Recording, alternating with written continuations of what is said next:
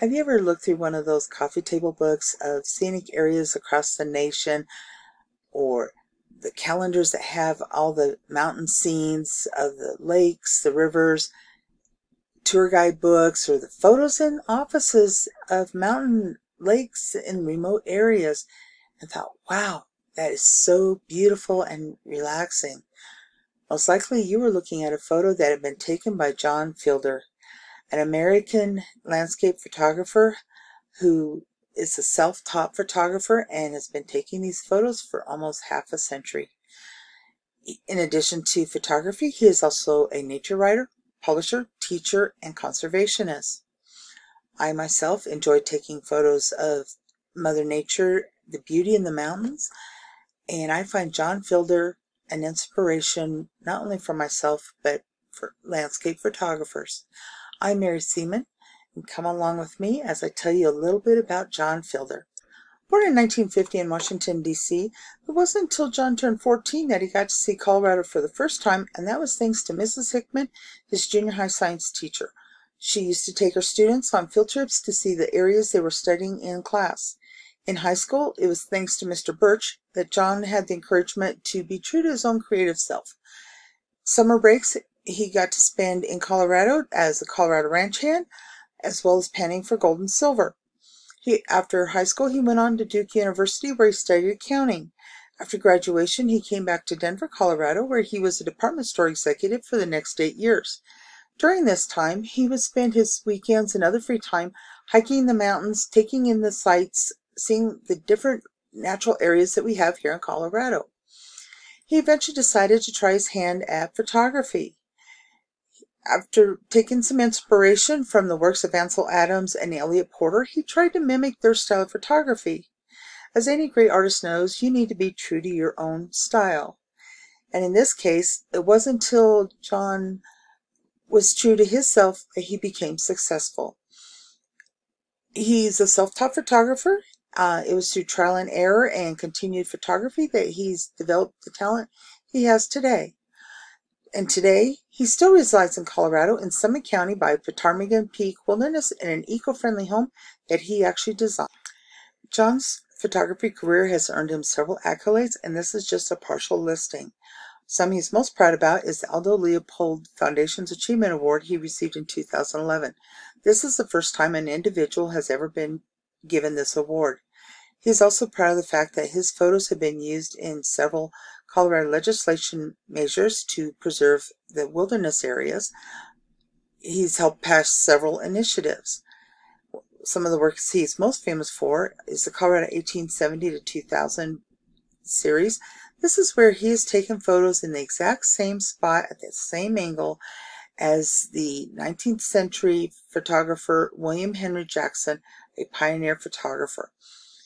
Readers can see the exact same scene a hundred years ago and compare it with today.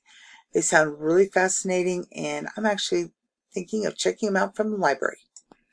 Why landscape photography? John says he enjoys being in nature, where he can take in the beautiful landscapes, the sights, the sounds, the smells. He also enjoys taking the photos so that others can see this beauty. He, he hopes that people will be inspired when they see his photos to visit nature and appreciate the fragility of the landscape. I like the, his little quote where he says, It pleases him to compose nature with a camera, isolating the order out of the chaos. John Fielder used to primarily use a large format 4x5 film view camera for all his photography. Only thing is, it's a little bit heavy and cumbersome when he was going on week-long photo shoots.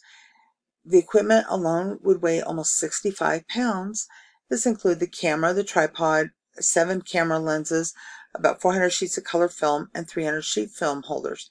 This does not include the other essential equipment for staying out in the rugged terrain of the wilderness for a week at a time. Today, about 80% of his photos are taken with a digital Canon camera, both in SLR and point-and-shoot styles. The 4x5 camera is still used to take his large prints that he sells in his galleries. During the winter, he goes ski, uh, skiing and snowshoeing to take capture his photos. In the spring, he often shoots while rafting down the rivers. In the summer, he'll use his llamas and a Sherpa to travel into the rugged areas of Colorado wilderness. He takes photos in full color in black and white, and the quality level of the photos allows for no size limitations, including archival wallpaper. This is an example of John Fielder's photography that I really enjoyed. It's called Indian Peaks Wilderness near Boulder, Colorado. The clearness, the sharpness of the water surface like a sheet of mirror glass. The way the mountains, the trees, everything is reflected. The colors, those giant stone formations in the middle of the water, not even a ripple on the water surface. I could just sit here for hours taking in the light and the sights of the last few hours of the day. The Holy Cross Wilderness near Vail, Colorado photo was one I really enjoyed. The colors, those blues, the purples of the mountains in the back, speaking to majestic Rocky Mountains, the way those pine trees just stand tall and lean against all the blue, and they're reflected so beautifully on that water surface. How he captures the water when it's so calm and peaceful, not a ripple on the surface, and just like mirroring everything that's in the sights in the sky. It's just so amazing to me. Um, I just love the coloring in this photo. And then you have that real vibrant green in the front to balance out the blue. Just breathtaking for me. The colors in his Israwa Wilderness near Walden were just so amazing in this photo. The pinks, oranges, the purples, colorings in the mountains. What, looking at the way the trees break up the line between the mountain tops and the water line. I I just love seeing that reflective nature on that water surface.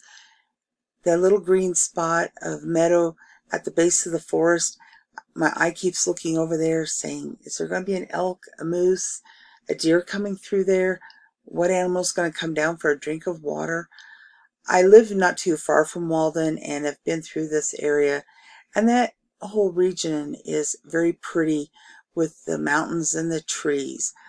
I just really enjoyed this photo as well. Like John Fielder, I also like taking pictures of scenery and landscape, especially in here in the United States. This photo here is an example from Alamo Mission Park in San Antonio, Texas that I took this summer while I was visiting. I really enjoy the way the greens are so vibrant in this photo. You have the actual mission building in the background, seeing the historic architecture styling. Um, and this is the Mission Concepcion that is in one of the missions in the park. I Also enjoy taking photos of water. This is an example in Riverwalk, San Antonio, Texas. Hearing the sounds of the water trickling over the walkway, um, the cool feeling, the calmness, the serenity feel that one felt when they were near this water's edge, I really enjoyed. The that is actually a waterway that has boats that will go through there. I, I would love to spend more time taking some photos uh, the family I was with, we were looking for a place to have dinner and so didn't get to spend a whole lot of time here, but I enjoyed the moment I got to stop and capture this shot. This final photo of Granby, Colorado is a good representation of many of the photos I do take. I enjoy the mountains and the water, which are both present here, the different colorings in the greenery, this photo speaks to me as a nice, calm, peaceful country feel. Um, in off to the right, it's not captured in the photo, there were wagons and an old tractor. I just really enjoy this type of photography. When I look through my collection of photos, though, I may be great at taking memorable photos of the scenes, I just forget the family and friends, which I really need to incorporate more. Hopefully, thanks to my grandson, I will start doing that more. John Fielder had some advice for aspiring photographers that I thought would be nice to share.